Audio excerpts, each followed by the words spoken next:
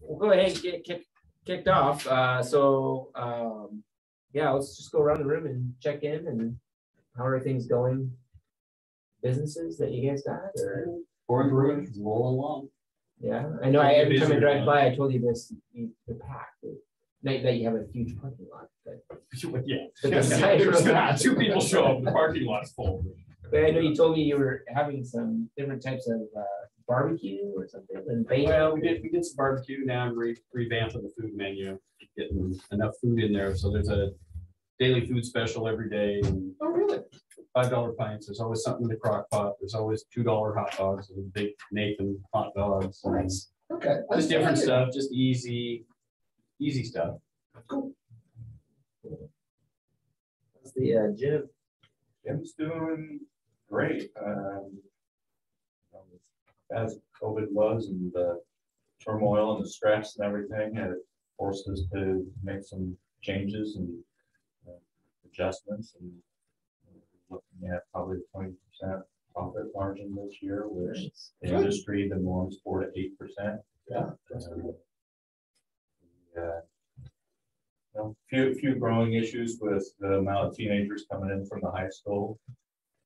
That It's exploded, but, and they spend the money there, we're doing four to five hundred dollars a day in food and beverage. Be a kid and disposable income. Yeah. What are they get from I. I think for a lot of parents, the parents pick them up about five o'clock or whatever. And so they're there right after school for a couple of hours. And parents just give them uh, five, ten bucks a day. They're in there, Make a power same one every day. But uh, as much as they force play around and stuff, they're working out. The girls follow. I mean, it was funny. Summer hits, that's where the boys were, they're working out, right? Pretty soon, girls start saying, hey, there's a lot of boys at the gym. And they'd come and they would sit on the machine and be on their phone, and there'd be like five pound plates on there. That'd be the funniest thing, you'd see little older boys over there and then on their phone, and they'd be there for a half hour, but eventually those same girls. They got thirty-five pound plates on there, they're working out, they're saying, hey, I want to be here, start using it. So, you know, it just, it, it gets addictive that way. Sure. Um, and, you know, it's like forty or sixty of them after school come in and that's half the time, you know, we're having to break up the swarms and, you know, there's some potty mouths we're dealing with, so. When we first opened, we had the same issue, they were force playing and they're, from the gym, they were dragging their friends, trying to throw them in the pool and everything else. And we had a, a guy that worked for us that was a, uh, substitute PE teacher, and we had him literally security patrol in place. And we had to lay down the law and said, you're done for a month, happen again. You're done for six months, and they'd come back and they'd be begging to come in. What do I have to do? I go, wait your time. You know, it's a, you know, doing that two or three and you know, it's the same with COVID. We have to scale down on payroll and, you know, cut some of the fat and boy, it shakes everybody else up. I think part of business, it's almost like, you know, once a year, I gotta fire someone, keep everyone else in line. Now you don't want to fire anyone because you can't hire someone to replace them. Yeah. Maybe in your business you can, I can't, but. Yeah, it's Definitely been an interesting few years. And the adjustments, it just, you know, and it reflects on what we're looking at is this economic future plan and it's, yeah, gotta be able to pivot. That's one of the things, uh, especially our business, I mean, it flip flops and changes. You Gotta get able to adjust to change and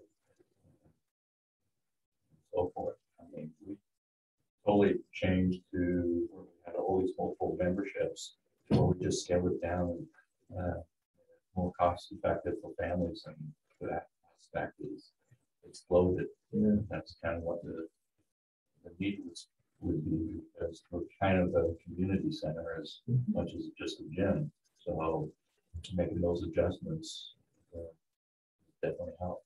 So, I- you know, in learning that, it's like what's being discussed here. How do you put that flexibility into it? Because guaranteed, every three to five years, things change. Mhm. And people at Builder Club, they specialized in hotels. And they said, it's typical every, uh, four to five years. Everything gets remodeled, all the rooms, gotta change it.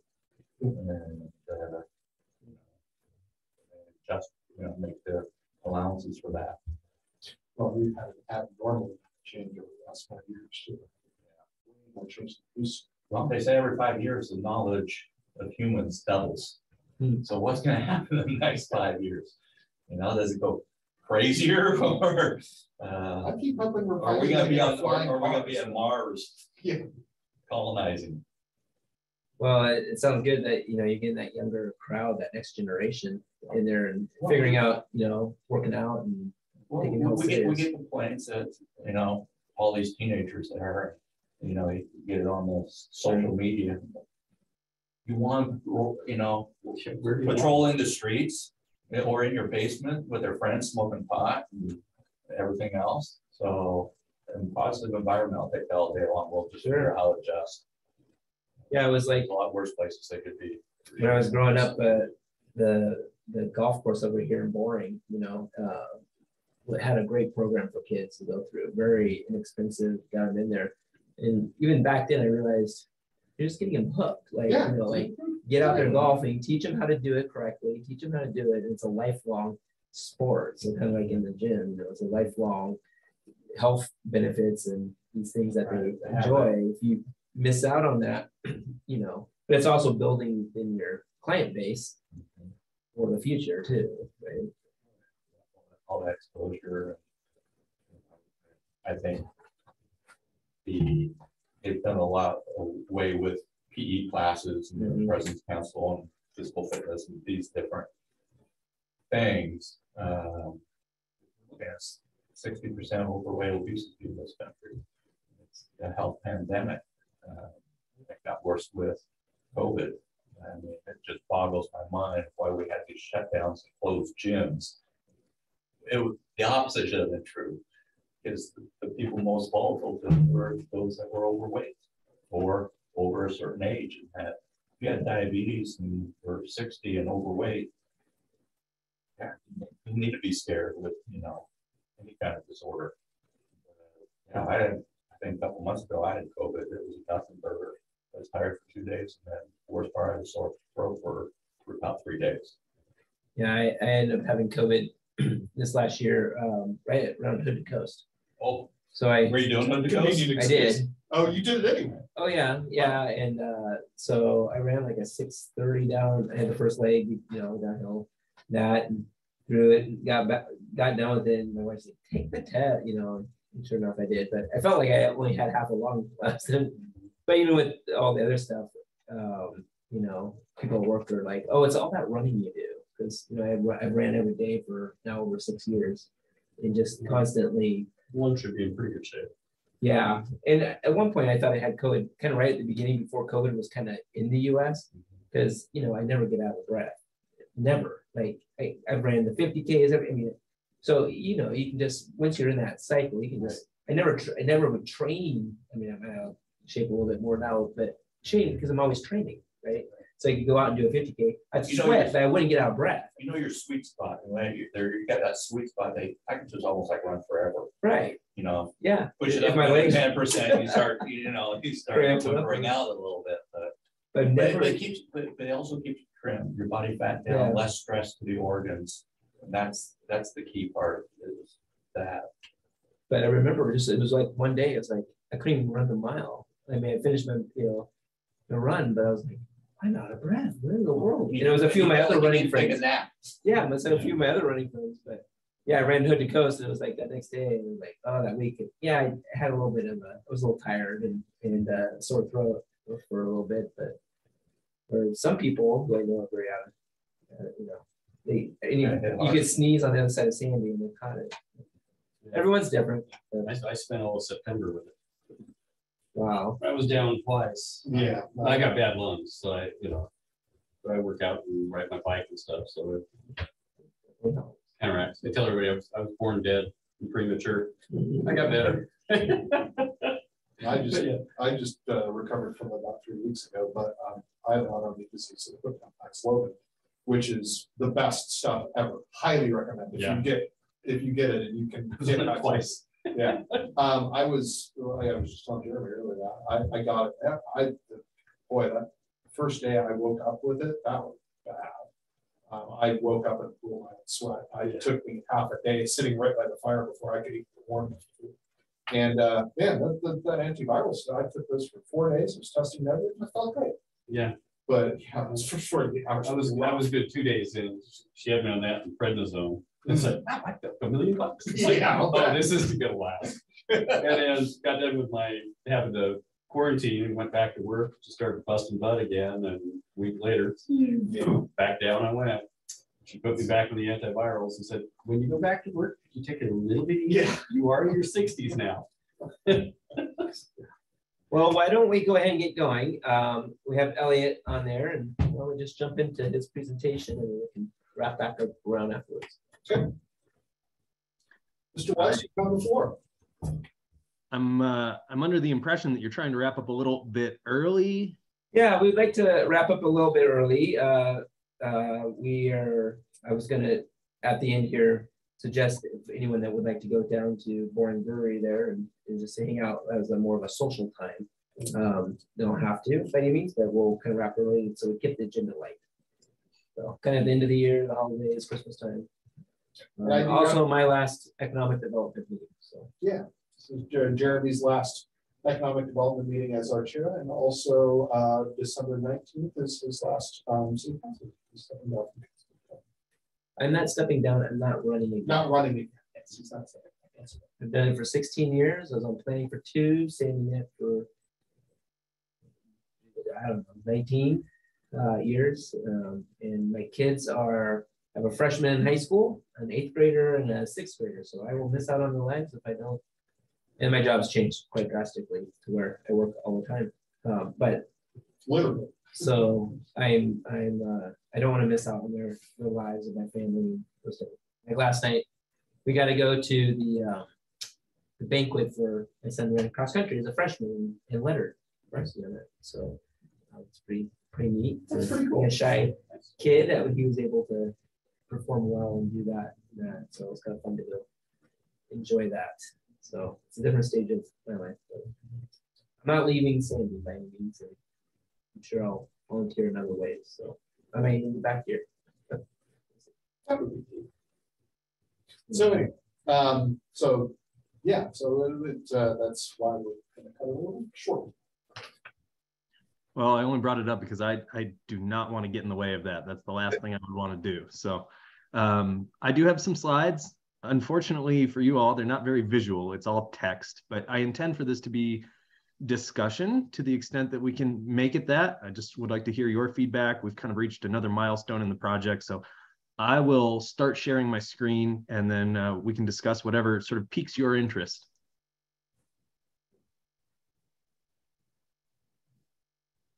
You guys might want to, if you turn around, there's a bigger screen that's all of it up there.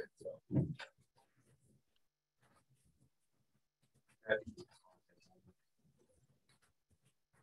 We've got them on both screens now, so uh, whichever you fancy. Are you able to see the screen? Not Well- yet, it says, uh, you have started screen sharing. Did that do anything? Nope, Nope. Hmm. Okay, let me try something else here. My Zoom has been acting up recently. This is not the first time this has happened, but I haven't been able to find a solution yet. So let me see if I can get this to work.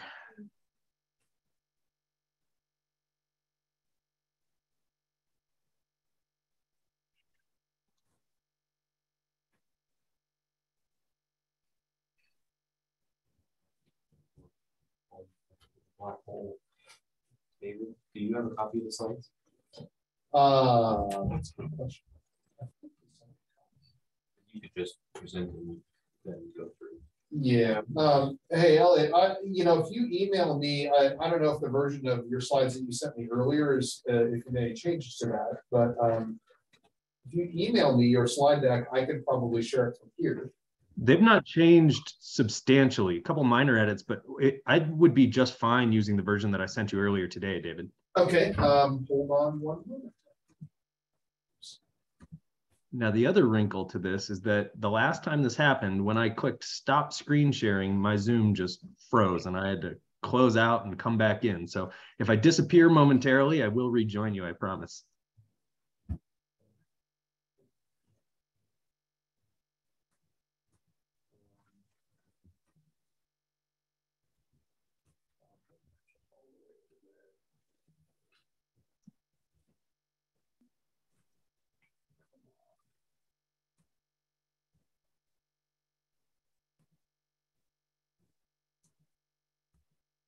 Hey, Brad. The refrigerator is a happy place. My Figured it out. We can get all that we need. What? Welcome to the last week. Yeah, all right. Yeah. So I guess we're having uh issues on this, yeah, on this end too.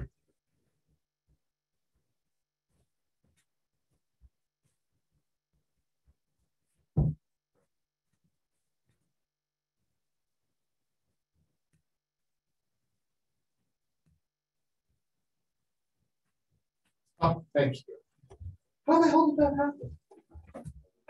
All right, all right, I think we're back on track here, Elliot. Let's see here. So I will download that. Need to kick Elliot and have him rejoin back in. Probably. It looks like He's kind of stuck in limbo here trying to present.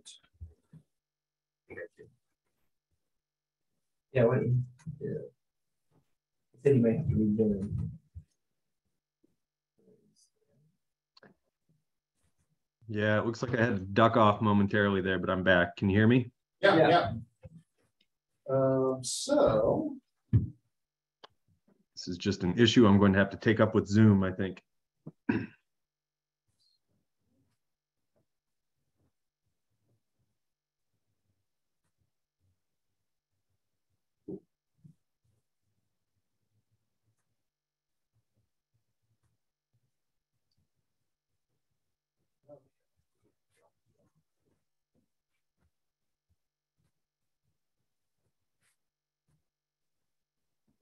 Um, you you did, yeah, there you. There you go.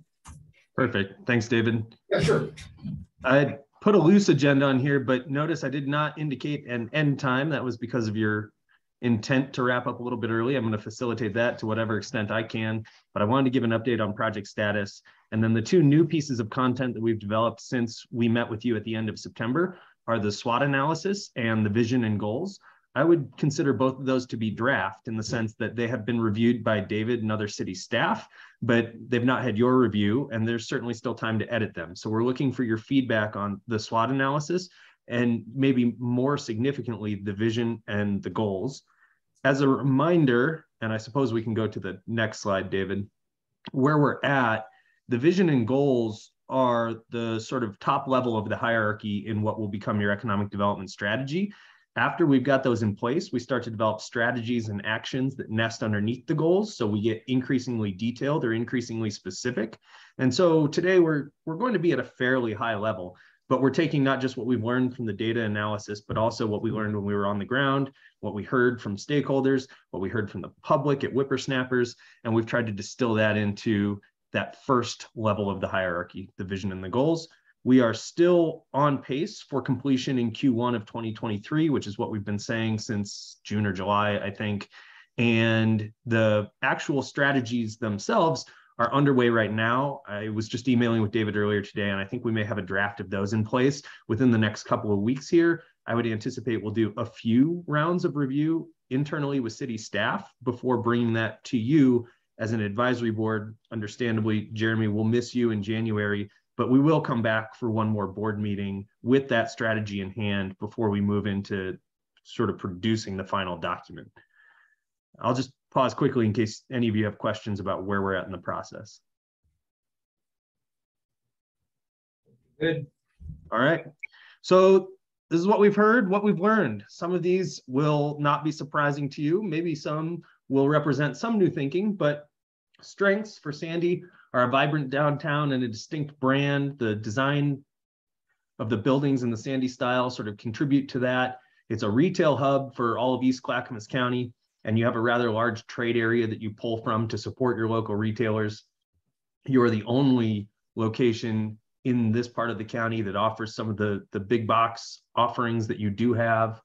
And at the same time, you're close to a strong regional economy. You're not so far removed from the rest of the metro area that you can't trade on that in some way or access that labor pool. You also have world-class infrastructure by virtue of being at the edge of the metro area, such as the airport. Um, so those are strengths as well. Innovative infrastructure investments that distinguish Sandy from other communities, such as Sandy Net and your recycled water. Your location, of course, on the road up to Mount Hood is an obvious strength.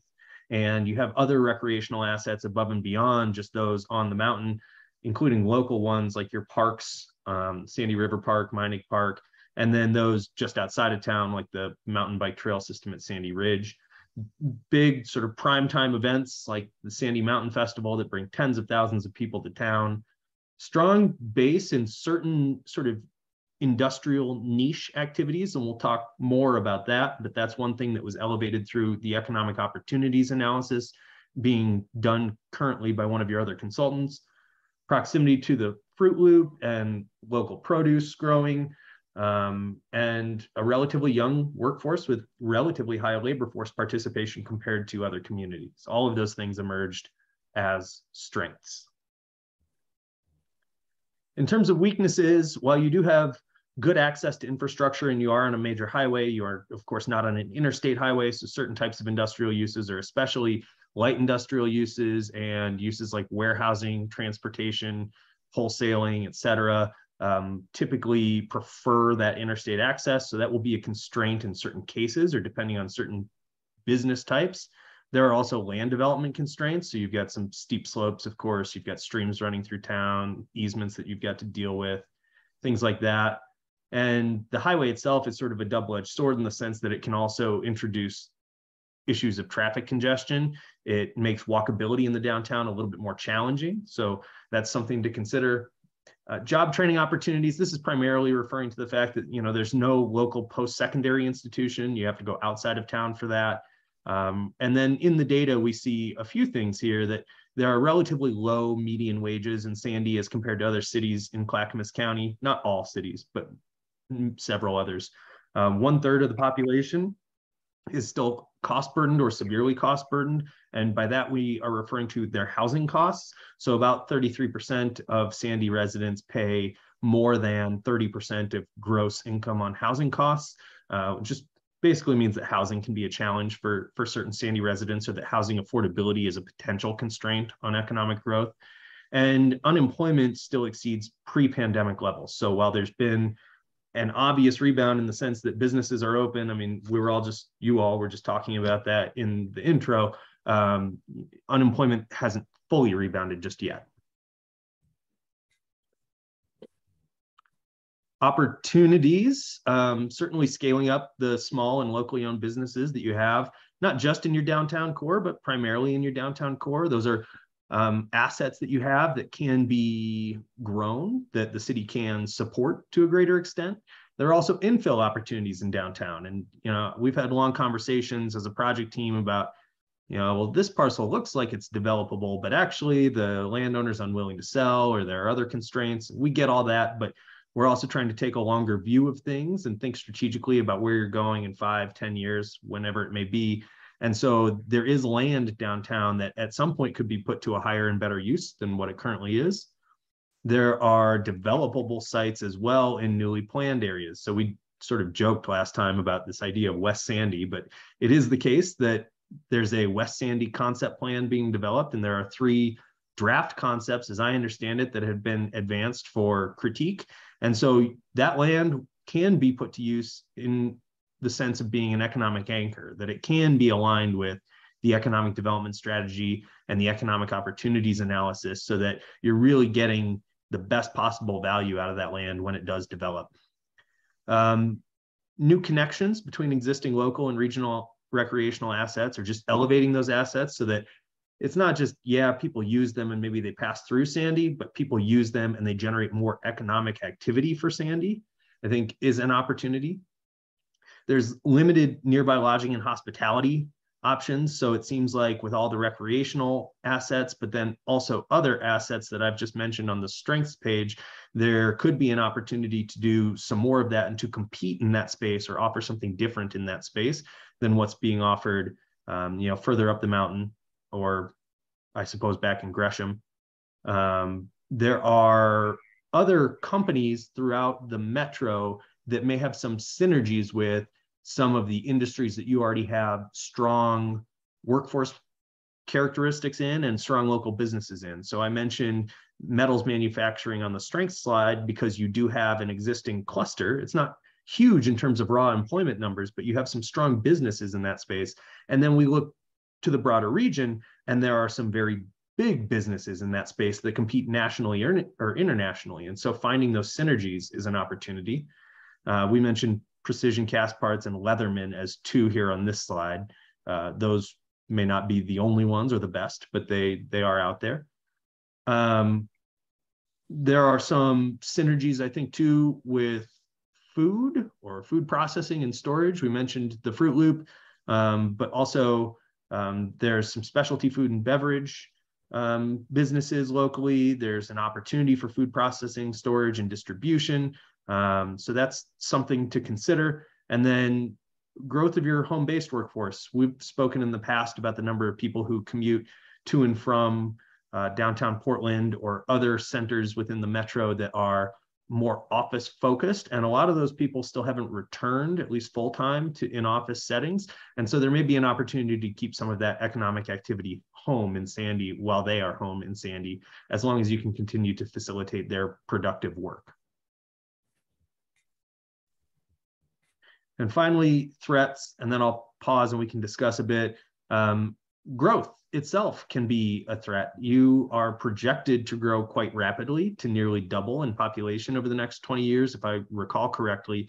And you've got to make sure that that doesn't either outpace the city's ability to provide infrastructure and services, or it doesn't otherwise degrade the character that people value about Sandy, the high quality of life that makes people choose Sandy again and again. So that's a threat potentially. Um, you've got to manage growth well.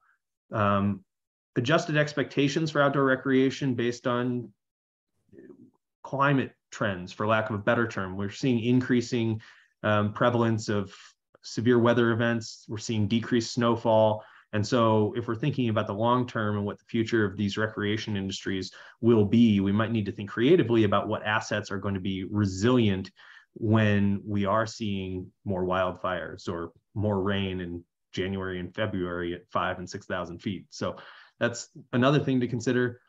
Challenge to recruiting skilled healthcare and social assistance workers, particularly pediatricians. That's something we're largely hearing from people rather than something we're seeing in the data. But if we're talking about how we maintain Sandy's quality of life and make sure that Sandy can offer what it is that residents or potential residents or potential workers are looking for, then that's something we need to look out for. Same deal with childcare, really. It's it's a critical service that people need um, in order to live in Sandy, in order to work in Sandy.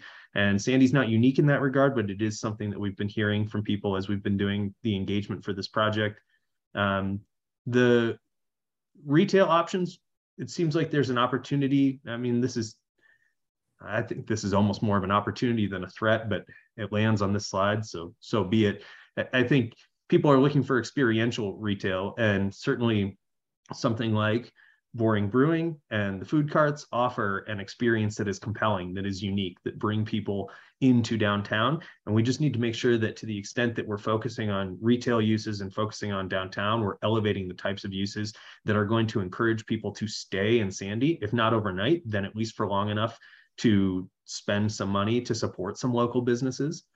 Rising housing costs sort of alluded to that on the weaknesses slide with the percent of residents that are cost burdened. But if housing prices continue to outpace wage growth, that's certainly a threat to Sandy's economy. And sort of related to that is the attainability of home ownership. It, it, it used to be in Sandy far more attainable than it currently is just when looking at median home sales price versus wages. One has outpaced the other.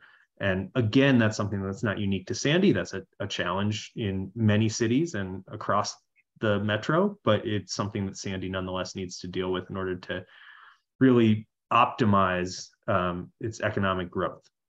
So, anything there that you'd take issue with that we missed that you think ought to be elevated for even more serious consideration? I, I'd like to pause here and just hear your thoughts. Any thoughts? I mean, just out of curiosity, what, what would be a strategy to combat rising housing costs and, you know, homeowners should be coming unattainable? I mean, you'd have to have a long-term strategy for that, I would imagine, but I think a lot of cities are, uh, and uh, counties in Oregon are looking at this right now, going, oh, we don't know what to do. And I'm, I think we're probably in that basket also. Yeah, and it's fortuitous, David, that you've got your comp plan update going on right now too, because your housing element is going to tackle that question directly. Um, I think from an economic development strategy standpoint, we don't want to focus on housing too much, and it's always a sort of calibration question of how much is too much. Um, I think what we want to do is we want to put language into the economic development strategy that reinforces and supports the strategies that your comp plan folks are going to be advancing so that the two documents are talking to each other. And if Sandy wishes for it to go beyond that, that's certainly a conversation we can have because there are certain cities that want to elevate it even further in their economic development strategy. But that's sort of my typical reaction to that question. I will say there are a lot of things that you can do, um, different things with your development regulations, your zoning, incentives that can be put in place, for the development of new housing, for the development of workforce housing, things like that. Um, the city can become an active partner in the development of housing, which is a little bit more, I guess, radical, and it may not be the right answer for Sandy, but there are cities that are looking at that.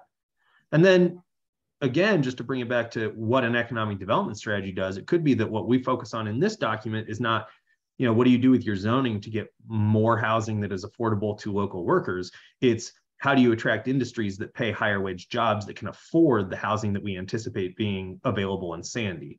And so we come at it from multiple angles and it could just be the case that the best angle for this document to approach is the jobs and the best angle for the comp plan to approach is the development regulations the zoning et cetera. So i think all that's on the table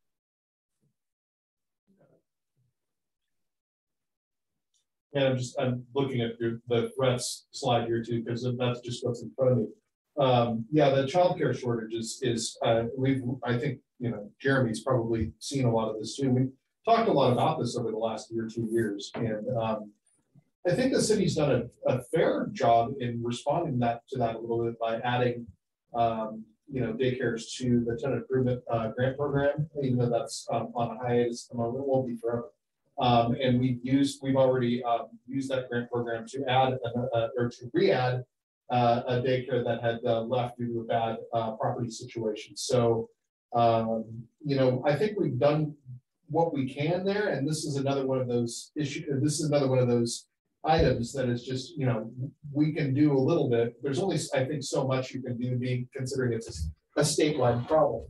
Um, that's going to require a solution that's bigger than Sandy. But I think, yeah, I, I, guess my point is, I think we're doing what we can do as a community. Um, we're taking the action that we can right now, and it is having a little bit of effect. It is sort of a shame. Maybe I, it's like we call it a SWOT analysis. So we go in that order: strengths, weaknesses, opportunities, threats. But then we pause on the threat slide, which is no fun, right? We should should have paused on the the strengths slide because I do think that what we found is much more on the strength slide, much more on the opportunities slide, less on the weaknesses and the threats. But I suppose it's important to be mindful of all of them and to be realistic about where Sandy's position is relative to the region in terms of economic opportunity. Look at the, you know, housing strengths. Strengths, you've got, I mean, you're 20 30 minutes you're skiing. You've got multiple rivers and lakes that you have access to. So the quality of life here versus, you know, you look at Hillsboro, well, that's just way out there, you know, uh, now we're to the coast, maybe. Uh, but you had with that environment, I mean, you know, had the land, someone like Nike would probably say, hey, quality of life here, mm -hmm. cheaper land, especially if you get rezoned for farmland or something like that. Columbia Sportswear. or any of those. Uh, I, I think that because you put as a threat for, uh, the recreation. You know, you've got, you've got skiing in the mountain, at some point in, during the year, you're gonna have a couple of months that's available. The rivers and lakes aren't gonna dry up. Um, and the hiking, yeah, you might have wildfires here, but you don't elsewhere. Right. And, you know, the easy accessibility to other recreational areas like Redmond Bend. Uh, I think that bodes well with all that, so I think people, you know, housing is a little bit higher. They would come here, there's opportunity, I mean, there's a lot, of, uh, land that can be rezoned. um, you know, That's go with it, I think that's what maybe like Sandy, Clackamas County has to be aware of. Some of that infrastructure to accommodate that. Let's just take one big player and uh, this, this area, I think could blow up. And what happened in Hillsboro. Yeah, the one, and then you get all the small business coming in, the feed off of it, and it just perpetuates itself. The, the highway coming through. Yeah, a bit of an issue as well. Yeah, just looking at the opportunity slide. Um, I think we've also done a pretty good job at managing our infill in downtown. We're starting to see some development in that infill- infill now, which is great. It's what I wanted to see since the first day I've gotten here. It's really delightful to see some of these lots being filled, like the, the Dutch Bros was just fantastic. We turned a, a problem lot into a, a, a really good money business. Um, so it's, it's nice to see some of these infill opportunities, um, get taken up by local businesses and um, there will be more in the near future. And um, I hope to see that continue. Uh, the only thing that concerns me about that is um, at some point we'll run out of infill opportunities, which um, at least in the downtown, which is what I think what makes the Pleasant Street Master Plan um, so much more important for us to discuss later on that. But that's done. And the metal, uh, uh, the metal uh, light manufacturing and all that, it's interesting to see that come up because um, Clackamas County has mentioned the same thing. Is that we, we, uh, their Clackamas County as a, as a whole is really pushing that because it's not just Sandy, it's in Canby and few other cities in Clackamas County as well, have that same um, kind of subsection of their economy. And It's, it's interesting that just to see that come up here as well. Because uh, Clackamas County would very much like to see us expand our metals manufacturing businesses.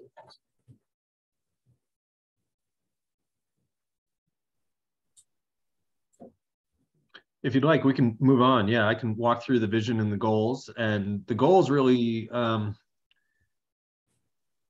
they grow out of the SWOT analysis. So if there's nothing you're taking issue with in the SWOT analysis, move on to the goals that might, might, um, we might have a richer conversation there because we can actually do some wordsmithing. It's, it's something more tangible to respond to.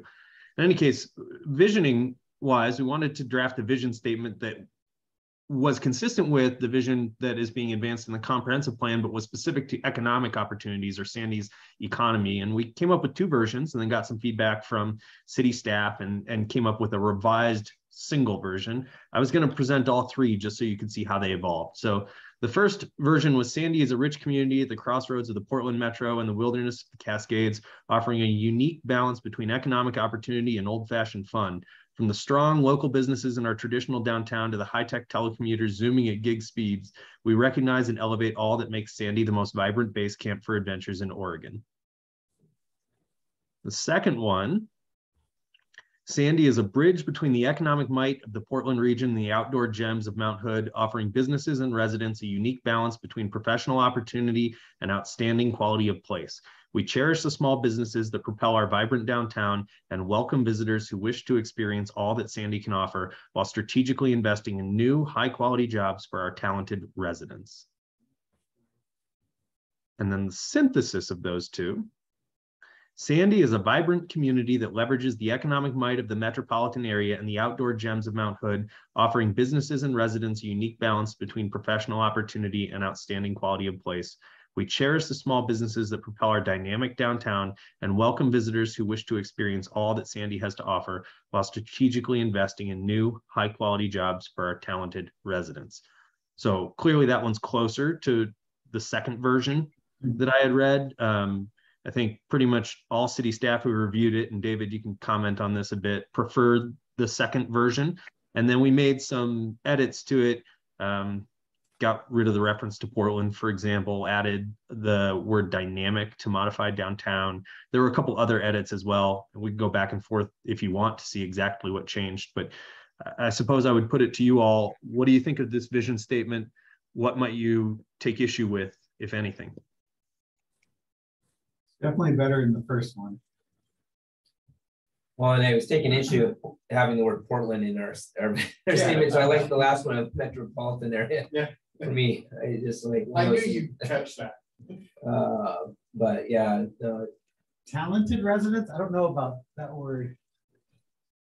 Yeah, that- I, I, I could see a change. That's the only thing that stood out to me was talented residents. I don't, You look at professional, you know. not everyone's talented. Yeah, well, not everyone's professional either. I don't know, that, that's the only thing that struck out at me. As a high quality job appealing to local residents, yeah, local resident. what's a quality job? Right. It's different from one person to the next. Right. Well, and part of an economic development strategy typically is keep in mind, right? The the vision is where you want to go, what you want to be, or what you want to be true in 10 years or 20 years. So it's aspirational. And I totally understand the pushback on talent, but I do think as part of an economic development strategy, we would typically address issues of workforce development. So where there are shortages in the workforce, in the talent base, those might be things we try to address through this plan. Kind of bridging talent gaps wherever they might exist. Yeah, and if you're using this to help attract a, you know, a business to come to your area, I think, you know, Yeah. talented would. Something of the nature of a trade school would be really beneficial, I think, out here. Like that, partnering with, uh, uh, maybe college or something. You know, we can Talk to the past with, Mhm. you know, high school, feel like that. Well, back when I was in high school, they did have classes out here and shop classrooms and stuff. The community Welding, college did, construction. yeah. And, you know, the city isn't part of the high school, you know, the school system, but, you know, in that same vein, you know, they're part of education, so the partnership that they could have with, uh, maybe to do the same thing. Because we need another middle school and grade school. there's, there's those type of things, but even with them just, you know, after school hours, you know, like we've done before. You're right, you know, building up those trades in our area. I think the talented part of it, I, I see what you're saying, Hans, um, but, uh, It's I not a also big think, deal, it's just something that's struck. I also think if you're using this to kind of go after the business, you know, like, we do have talented, you know, Right. like. if you- Just our workforce here, it's like, oh, you know, Yeah. looking it's at another that. adjective. Yeah, and I can't. come I up with anything better. Yeah. So anyways, I don't know, I, I like the third one. Yeah, But yeah, New talent. well, Well, talented, you know. Yeah, we'll double in population in twenty years, so maybe there will be time.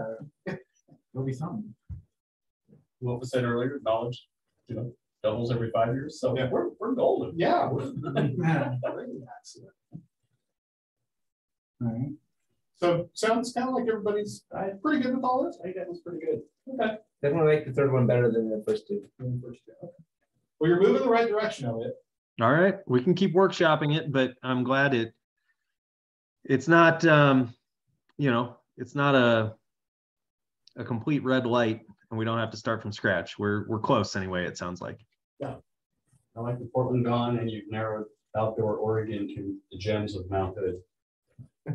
Yeah. Cause it does, it, it Yeah, I mean, that's what it is. We're qualifies who we are. Yeah, beat around the bush, it's Mount Hood. Yeah. Cool. All right. So then we've got a number of goals here. Um, I'm not going to read everything, but I'll just read the bolded text. Goal one, improve systems to ensure broad and durable access to economic opportunity and maintain Sandy's high quality of life. So high quality of life is an important component to this. That's the character of Sandy, but this is also where some of those workforce issues come in. It's where some of the childcare, the social assistance, the healthcare comes in. It's about making sure that everybody can participate well in Sandy's economy and access the things that make Sandy great.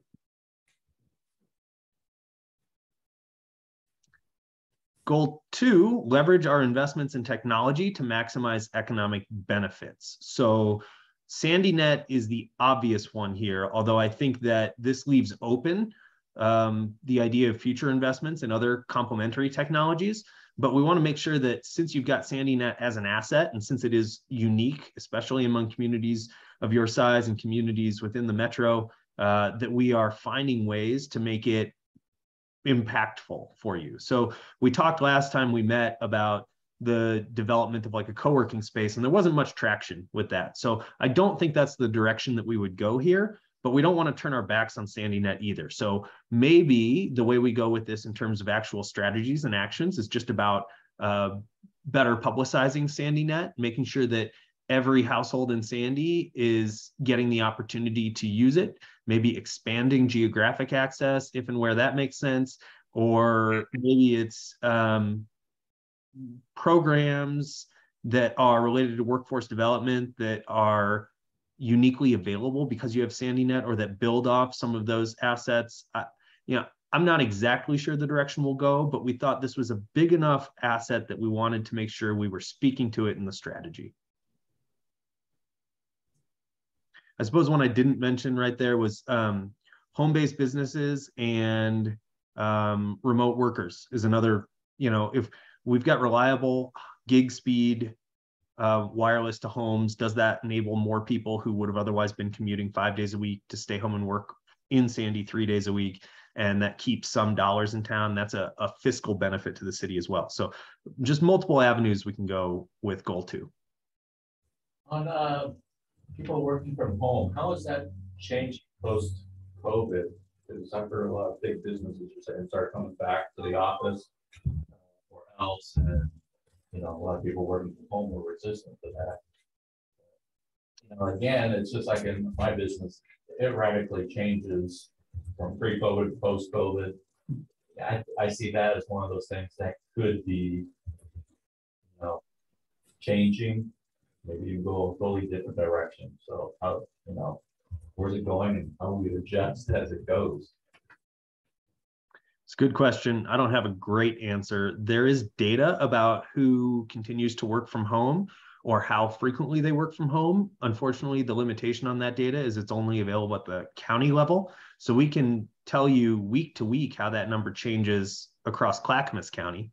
I say week to week, it is just an estimate, but it's a product that the Census Bureau put together at the beginning of the pandemic. Um, they distribute surveys. They use the sample size from that survey to extrapolate, you know, an estimate with a margin for error. So that's useful data to help answer that question. It just doesn't provide something specific to Sandy necessarily. But good question, and, and it remains to be seen how durable that trend will be. I can tell you that in my world in technology, in working for Clackamas ESD, which is education, but we don't have students the same way other schools. We support people out there. That uh, we've had to write a home work from home policy because we one can't hire people because uh, without it saying right on the job description that you can work remotely from home, people just aren't applying. The first thing when they interview is, you know, can work from home. You know, like that's the end of the conversation. And it's just not here in Clackamas, it's all over my industry. When we talk, I get together with all the CIOs from around the ES, uh, around the state of Oregon, have the same problem. They can't hire people. And there's a big difference between those agencies that have created policy and have the policy of no, you must be in the office.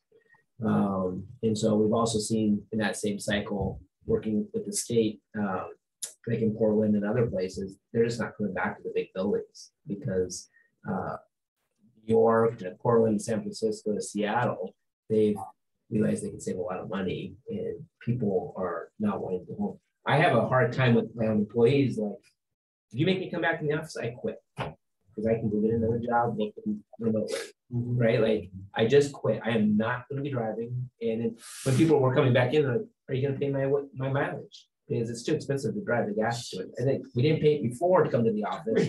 We're not gonna pay it now to the office, like, why can't I work from home? I- I- PCC's going through the same thing. All the people. When they said you must work from home, everybody re- resisted and didn't want to. Yeah. Until Now got they don't want to come back to work. Exactly. And Yeah. PCC, Portland Community College is actually, presidents put out that we're community college, we're face to face based, you're coming back to work. If you don't like it, sorry. And I've actually had people there and talked to the tech, because they're trying to hire my employees, that they've created a work from home policy for those. They've always had them. And the teachers, I think, see, the guy said, the teachers are going, I can teach from my house. And so that there's this, no, exactly, and so there's this, there, there is this Yeah. culture that. But, changed. but you, but you can't. Yeah. No, I agree. You with can, but you can't. Real- Not That's- at, a- not at a community college level. I've had, I've had people in a spin class, uh, uh, basically, uh, Zoom meeting on their phone and their headphones on.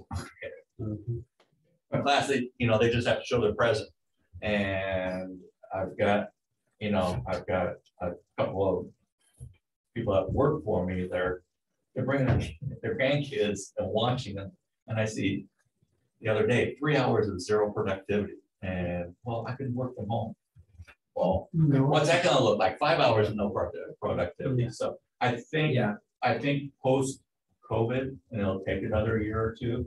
They'll start getting data on productivity on all this. And unless you can put productivity based work at home, like sales, or your sales up and so forth.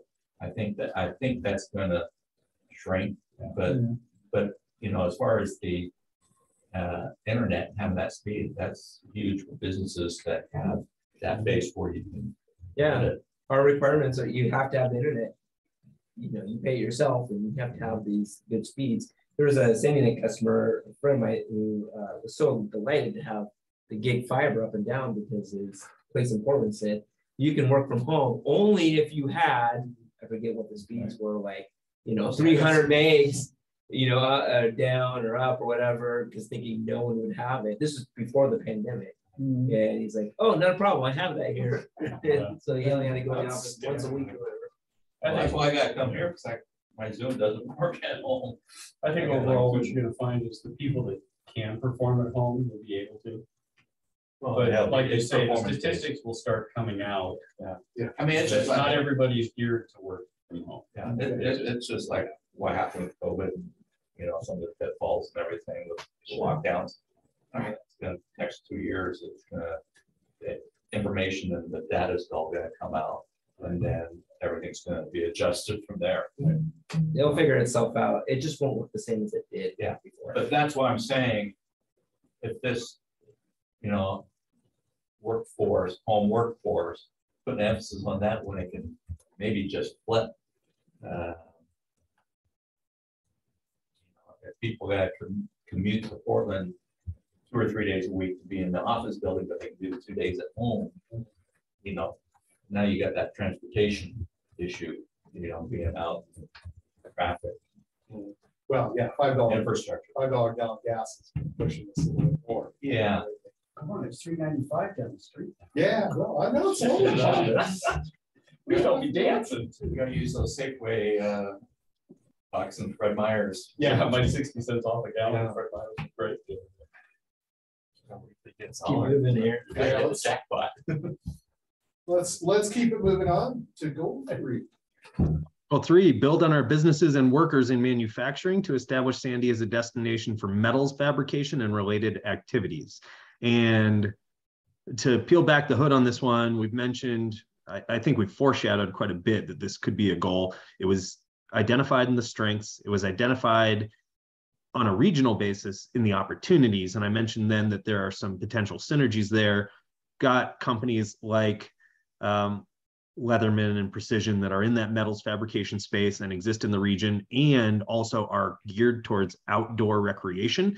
And so with Sandy being already naturally located to take advantage of recreation assets and having some existing workforce, some existing businesses in the metals fabrication space, there's a niche there in recreation oriented metals fabrication that I think you could grow.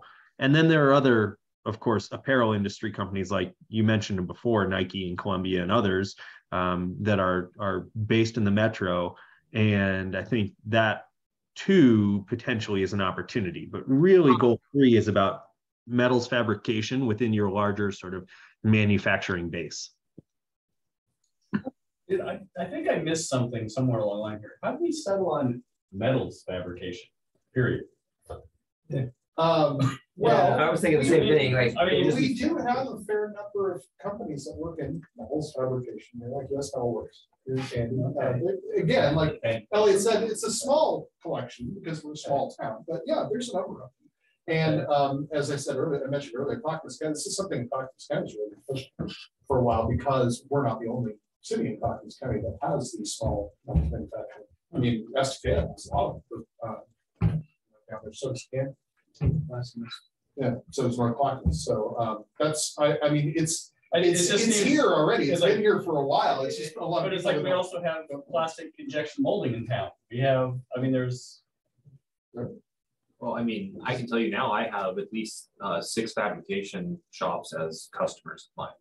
And a lot of them are actually kind of outside of city limits and they're, um, some of them are fairly large, um, not Cascade Precision, but there's another one called CPI that's out off three fifty second. That's a customer. There's, uh, I know of at least a couple out on Marmot Road. The industrial off of Ruben Lane, um, I believe has one or two of them. There's three on industrial lane across from US Metal Works. Trillium Machine and then two other fabrication plants. Yeah, So it's just kind of it's not hidden- something that you would it's just know, a hidden thing here. yeah, it's, Okay. because they don't advertise. So what and- does Sandy have for industrial Well, that's the, and yeah, that's been the problem up until now is, um, it's not a lack of business interest, it's a lack of available land. There's just not a lot of industrial, um, land open for, or, uh, lots that are up for development. unless you expand the boundary and take up some farmland? Um, yeah, or. we Our just- terrain has not been the greatest either. Yeah, yeah, that's Canby has a lot of flat land. Right. We have a lot does of Estacada. hill. Yeah, that's, the that's been the difference. Estacada has this like twenty or thirty acre area down there where that they've cut into like these little five acre parcels, and that's why they, and they're getting business interest, but, but it's all flat. And they've already kind of put in the roads and some of the, that infrastructure. Eleven, three sixty second. Yeah, yeah, yeah. Tons. Yeah, so, um, so yeah, I mean, that's something we just need to identify, and that's something the EOA is working on, right? The uh, economic opportunities analysis that ECONorthwest is working on for us right now is to identify the fact that, yes, in fact, we do have a deficit of industrially zoned land uh, open for development, and, um, we need to figure out how to correct that somehow.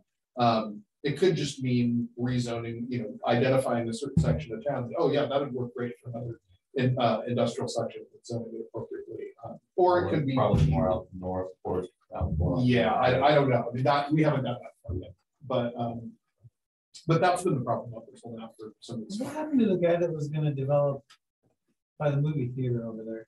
It's in the works, road fabrication. Yeah. Oh, yeah, road fabrication.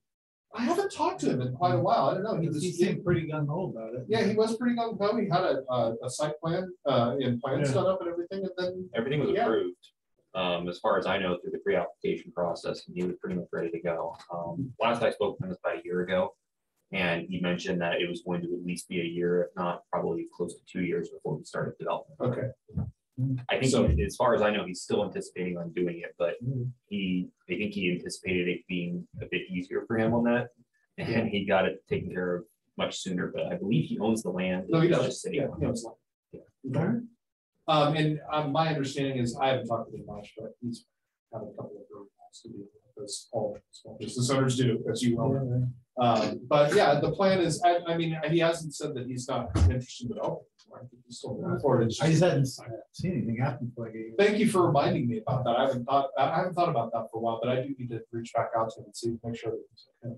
The lot across from there, did Clackamas County ever release that? Because that's where their health clinic was going to go. Right, and it's still owned by Clackamas County, I don't know. what that- So, so that's why. Okay. Yeah, no, they, they've been here all along. It's just know nobody we have that you don't realize, okay. I will say it did actually come through pretty clearly in the data that was collected and presented in the economic opportunities analysis. They did an analysis um, of what they call location quotients, which is basically how specialized Sandy is in any given sector relative to the larger regional economy. So it's like, you know, how many jobs as a percentage or as a fraction of a, a larger total does Sandy have in metals fabrication versus the region's percent of the total? And Sandy is far more specialized in metals fabrication than most other communities, far more specialized than the broader region. So there's a, a concentration there, and it might not be a ton of jobs now, might be 50 or 100, but as a percentage of Sandy's total employment, that's pretty significant. So you've got a workforce or a talent advantage there you have companies that can share expertise, share knowledge, share learnings um, that might have established supply chains, things like that. And now it's just about can you bring in some of the bigger players regionally to scale this up? So that's the idea.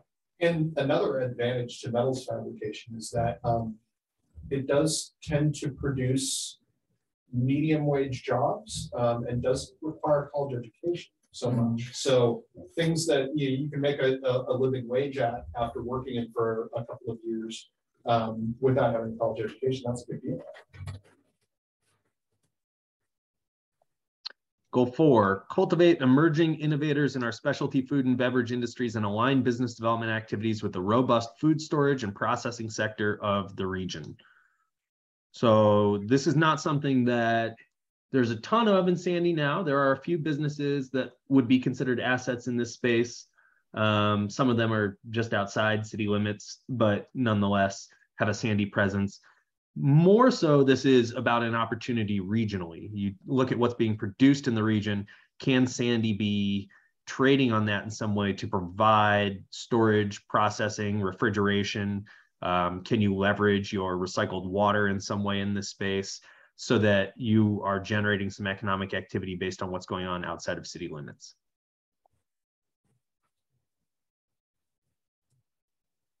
Goal five, invest in hospitality and place-based tourism to make Sandy the most active and vibrant base camp for Mount Hood area adventures. This one's fairly self-explanatory. Um, you all know your assets in this space better than I do, uh, although I've had the pleasure of taking advantage of a number of them over the years, just in visiting. I think what my experience has been, and this has been borne out by conversations we've had with others, you're actually pretty limited in lodging opportunities and the lodging that does exist. You know, there are pros and cons. I've stayed up in Govey before. I've been rained on while skiing up at um, Ski Bowl before, uh, but it there's not a lot going on there. There's not a lot being offered at night for food and beverage. Um, so while some people will inevitably trade, um, you know, the lack of dining options for proximity to the mountain, there will be others that might be looking to, um, you know, stay in a place where they do have access to a craft brewery, for example. And it's not just the Rathskeller. Um, so I think, you know, to do that, that would involve a conscious choice on Sandy's part. And there would be some things, some investments that would need to be made. There would be businesses that might need to be recruited.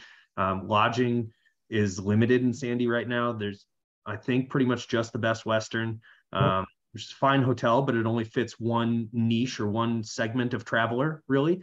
And so you might look to diversify that and recruit new lodging options to town. You might continue to encourage small businesses in the food and beverage space in downtown Sandy so that you're um, expanding those offerings and just making Sandy that destination that is close enough to the mountain, but provides way more in terms of um, arts, entertainment, local recreation, uh, food and beverage, hospitality, as compared to what's available up the highway. Is there any demand for any convention business, like on a smaller level? I know you'd probably have to have another hotel with that, but is there any, because I mean, right now, if you have a large gathering, there's not really very many places in Sandy you can get a large gathering together. That's a good Well, we, point. we can have, we can hold six hundred people in our gym. We've got tables Right, set up for hundred and fifty. I mean, we used to have church service there. okay. Out this way, you've got, what, the end of the Mountain, we used to have the Oregon Optometric Association meeting there all the time. The re- yeah, the resort. mountain resort. Yeah, what they, they have a, they have a whole area, but I think you're talking in between theirs even, because I, I was thinking the same thing. We go to the robotics tournament, we go to, you know, these other things, and we're gonna go and stay in hotels to be there in that community. And Sandy doesn't really have a, Yeah. kind of that same, where you can have it right in the. Yeah. We had a few years ago, a hotel looking at a property Yeah. in the gym. Oh, yeah, that's right. you that. They, the, uh, local person that was looking at it, liked Mhm. everything, but on the regional level, just the demographics and everything was in no. So I, I, I think if the downtown was more robust, because a lot of things are walkable, and you could do something, you know, on the north side, Mhm. and Well, I, I have talked to actually two hoteliers, um, since I've been here. One was her, uh, the lady from, uh, Cannon Beach. And, um, another, oh, God, I can't remember the name of it. It, it was a, uh, hotel company, all, they've all heard of, but their names escaping me at the. Um, they both wanted to talk about, um, having some sort of event, uh, uh, or, um, you know, some, some sort of space for that sort of thing. Um, and that was a big deal. Uh, Particularly for the corporate one, the second one, they, they really felt that having a, a restaurant, and I don't know that I necessarily agree so much with that. They wanted to have a high-end restaurant. They wanted to have some sort of space they could use for smaller conventions, because they said that was important for their business. So, um, it just, just a point, uh, just a data point that, that was something that both hoteliers talked So Elliot, was there any looking in- into that? Did that come up at all? It hasn't yet, but we can look into it. The door's not closed on that. Um, I will say it's it's been a tricky time just with the pandemic, right? The convention spaces have had a rough go of it these last three years or so. Uh, but I do think all of those in-person activities are coming back, and they might be looking for that type of space. And it sounds like, anecdotally, David's had people asking for it. So that's something we can look into. Yeah, I'm not talking, I don't think you're No. a big No. convention, but smaller. Because even when the city of Sandy tries to do just their uh, goal setting, that's outside this room, we're having a hard time finding a spot. Yeah, Right. no, that's, that's very true. Are you asking more for something like the size like a civic center? That would be where you could have a larger meeting, but then also move like your council chambers and have it available for people to rent it out. I mean, that's something that a lot of cities do, and it's not quite the Yeah, I size of a conference. Yeah, no, I was thinking more of just kind of be part of the hotel too. you Yeah. know? Uh, Well, Yeah. we- and I think desperately need a second hotel. Yeah, and even when I first got on with Scott Lazenby here, there was someone that very interested. Yeah, that up was the here. Cannon Beach. the Cannon Beach lady up here. And it just didn't work out timing wise with her, but she had her own hotel down in Cannon Beach and What about the opposite? Say to that if it's not a hotel. There's a lot of other options than just a hotel. Oh, yeah, yeah. That's true. I mean, I, I have a dream of getting hold of Sabella's farm and turning it into a tiny house hotel with an RV park in the back of it. I Yeah. got, I Well- geeked out about that with a, a guy I knew, and he, he moved away, and wasn't, wasn't interested in dealing with that chunk of land. You know, it's funny you bring up RV park because you'd be surprised how many times I've heard that too. Um, and Elliot, had, did you ever run into that? Talk about an RV park or, you know, particularly what I hear about is a place for people in RVs that have like horses and stuff to stop and take their horses out for a walk and stuff like that. Like, Boy, that's really specific. but That's kind of happening down at Mount Hood Center. yeah, There's okay. been a whole bunch of Oh, RV really? parking there, yeah. Uh, I don't know if any of Maybe it's, that's our spot. I don't know if any of it's legal. well, that actually came up when the high school, when the high school was, the high school was being built there and I was, we met back when we used to meet with the, the board there and our board and asking like, what is it that we could, you know, what, what is it that we, you think we need? And, and someone brought the fact that RV park, because if they do baseball tournaments and softball tournaments, they're there for the weekend. Right. And people bring their trailer. I have a guy that works for me that he travels all over the state. His daughter's on a competition softball thing. He takes his trailer all over a couple different states uh, on the weekends. Good But example of it would be like the vintage. Yeah. The other, I forget exactly where they're sitting now. I've been by it a million times. Wait a minute, I'm But- the The I think- vintage, it's, Vintage Plaza. they, no, the vintage is like a gigantic RV park, but the whole big section of it is like retro, um, RVs and stuff that they. Oh, like Airstream stuff? Kind of like tiny houses. Oh, okay. It is cool. But there's a large, there's a large segment of people that, you know, they would rent a tiny house for sure, probably wouldn't stay in a hotel. Yeah. Or you had a combination tiny house and RVs, Yeah. and you had the shuttle up to the mountain, because you can't take your RV up there. Right, right. That Well, would be depending the on it's draw. from. And yeah, and then had that where that was a pickup area. But uh, I went to college up in Bellingham, uh, and the county up there, uh, their gross leading income for the county is softball. The Huge tournaments, people came from a lot, mostly from Canada, I think, Yeah. I think. But it was huge. They had where they had eight fields on one side of the road, eight on the other Wow. it just packed it out. Yeah. So, I mean, you got, you got some sort of event, that's kind of affordable, Leadville, Colorado did the same kind of thing with bikes. The Leadville. Mm-hmm. old mining town, it just went downhill and everything. The community got together and reinvented themselves and they're mm. going strong. Yeah, I think to your point with the softball up in Bellingham there, you know, I've always thought, you know, when I have kids and, you know, like soccer fields and things like that, you know, you, you go to these places and, you know, you have all these events and all weekend long, if you can put one right across from Riverfresh, that was my dream, because you need flat property. Yeah. got three sixty second through. All those people are, where are they going for lunch? I know we drop our kid, you know, you're there all day, you come and you, you shop the community. and It's weekend after weekend after weekend. city's got that twenty acres, they could take five acres for an RV, put in some softball fields, have the, uh, going down the Sandy River, the, you know, dirt bike. All for it. Let's do it though. But anyway, yeah, I think uh, there's a sporting aspect of it that doesn't always include Mount Hood, but we're, we're outside of, we're, we're You a look at the perfect the destination. Hoodview for all. complex in Happy Valley, that place is always full of soccer or whatever, and then you've got all of Happy Valley food right there. Well, my real house, I grew up right down the street from the uh, Tualatin Hills Park and Rec um, District. um, There on hundred fifty something water. And it wasn't always that big, obviously, but that pool's been there since the early eighties. I used to go swimming, or seventies. Used to go swimming there all the time. And uh, it's been interesting to watch that space grow over the course of time. It is a full-on sports complex. Now, there, there are some, we do, um, uh, club volleyball, club bay Yeah. teams, we've got well over a hundred kids there, and they pay a lot of money. They play in CEVA, CEVA had asked us, you know, what is our courts for their power league. If there was a court system, you know, where you had about six volleyball courts, basketball courts, Yeah. pickleball courts, Yeah. that was all enclosed.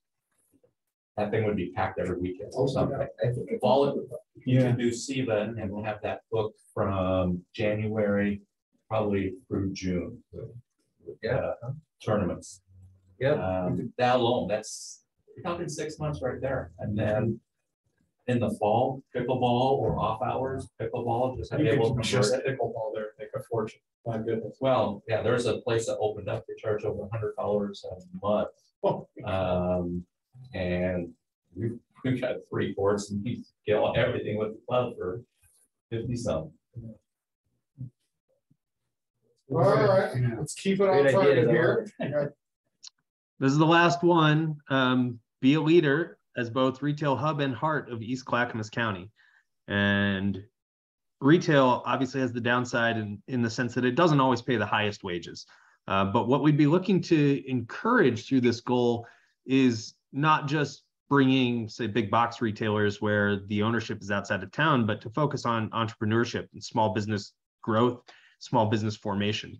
Part of bringing in those dollars from outside spenders, whether it's for a sports tournament or for people going down to the river or using the Sandy Ridge system or just coming because this is the nearest shopping center to their home outside of Sandy in a state where you have no retail sales tax, of course, is that those dollars can support local businesses and business owners who are actually, um, you know, ensuring their own family's well-being um, as opposed to dollars that are actually being shipped outside the community, even though they're spent inside the community. So I think this goal is about retail, but with a, a local flavor is the intent.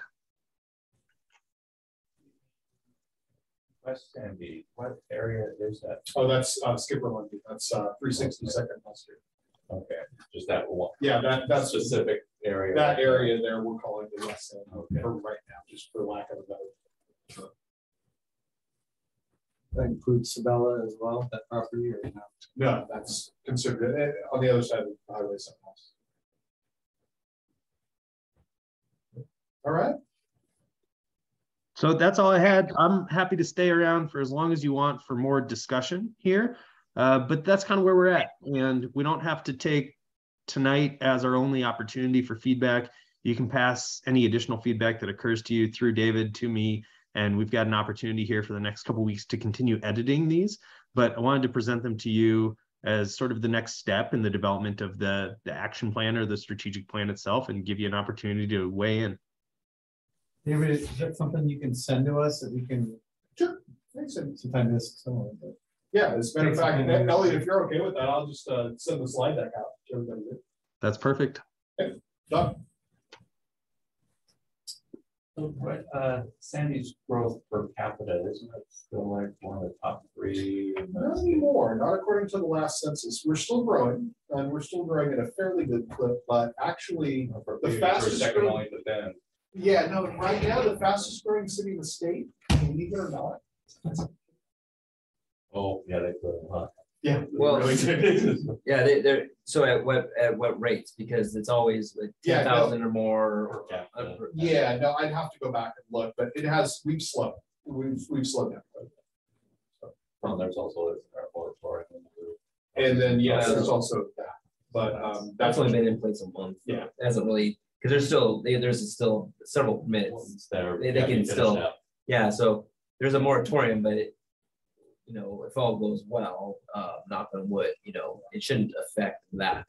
Uh, Yeah, well, I mean, there'll be effect, but it'll be effect a couple of years down the road as, it's- as we, you know, one percent, we'll be able to see it, you know, because it's just not. Uh, there's not gonna be a lot of permits going out over the next six months, but then once the moratorium is lifted, we'll. well, we, we can send out like hundred and twenty permits. Yeah, And in that time frame, we don't normally see that many anyways, so. so there's a possibility it may not affect us all that much. So is there, is there an update on building a new sewer plant, right? In addition, Oh, yeah, there's all Is it- kinds of information on the website. Yeah. About that. I, I mean, are they breaking ground on that soon or Oh, no, no? no, Jeremy knows more about Yeah. that. these, there's a lot of red tape. Right, yeah. With the Okay. EPA and federal. They're building it down off Sunset down up there, right? that was one of the plans that we had was to build a uh, satellite one there. Right. Pump up and go and send the water to Roslyn Lake, um, you know, the wetlands area.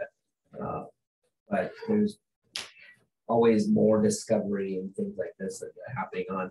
But in the process, even from day one, it was gonna take, you know, eight years, six, eight years, I mean, just from permitting processes. Isn't that what's limiting the growth though? Is the sewer capacity? Yeah. Hmm. Yeah, so we're, we're working on it. No, I. But it's, not- it's, no, I know, it's just the frustration part is, is Mhm. you guys spend ten million dollars to do studies, to do what they want, you know, it's like you hammer you down and no, you can't get up, we're gonna hammer you more, and but you're, but now you gotta provide the, I'm down my soapbox. You gotta provide the housing, no, you can't do do it it, no, you gotta provide it. and- Well, and you can think about it, you've got, right now you got rising interest easy. rates. You got pretty high property taxes because of the school and sewer and water. Right. I mean, my bill's quadrupled. It's almost five grand a month. So, We are not the only city. We're just one of the very first ones that's happening. I, am waiting for SK to drop that, that shoe because that is a tiny little, it's, it's the fastest growing one. And we already know that they have issues with theirs too. Yeah, that's good. But every one of these cities have the same issue because all the sewer treatment plants were all built around the same time using the same money from the feds. The feds gave them all the money fifty years ago. And so to build all these things, Well, guess what? All of them are going down, but now it's like, isn't there a multi-billion dollar infrastructure bill that passed? Well, and Build that's, back better? but that's But that's- Yeah, Exactly. that's some of the stuff we've requested and help, you know, get this, but, you know, everyone wants their. That's where in the government can't. Well, they start building ahead. things that they don't built need the just sewer to plant up get there. two The cents. new one to- for full build out of any land up there. It's monstrous, that sewer plant up there. It's- They'll never have to build another one, not never, Where's that? government can't. Whole building. We did ur- urban renewal district and first thing they did was build a new sewer plant with the capacity in the room for complete build out of all the land in government can't, because there's only a certain amount, plus any potential land trade. So that Meadows land trade, it's all factored in and they can just expand the plant a little bit, it's all designed for the full build out. Well, we're starting to drift into uh, discussions to have over malted beverage. Sorry. uh, area. No, that's fine. Um, but uh, I just wanted to uh, thank Elliot for his time tonight and for the update and to give you the opportunity to go uh, and do your thing as you would like to, Elliot. So thank you again, and uh, no need to sit and listen to us anymore. Thanks for having me. Enjoy the beverage, everyone, and I will see you again in January. Sounds great. And uh, we don't have that uh, meeting scheduled yet. As soon as we do, I will. let you know. Sounds good. Thanks all. Thanks, uh, Thanks. All right, well, there's no discussion.